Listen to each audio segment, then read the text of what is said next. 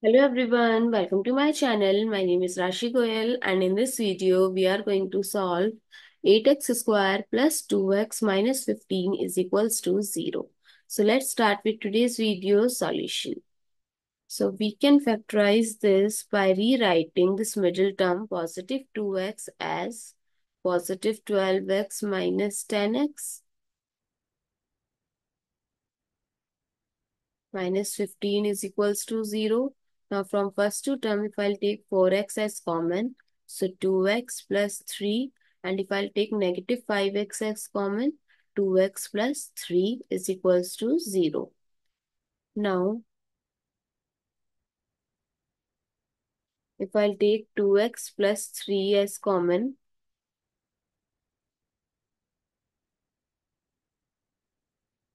so what is left? 4x minus 5 sorry here is only minus 5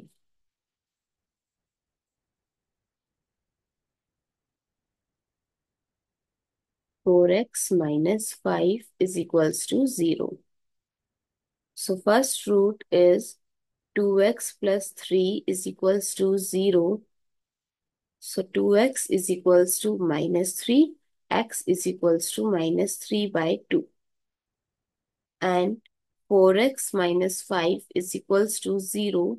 So 4x is equals to 5. x is equals to 5 by 4. These are the two possible cases. I hope it's clear and you find it useful. So please give us a thumbs up and do subscribe to my channel. Stay tuned for more upcoming videos.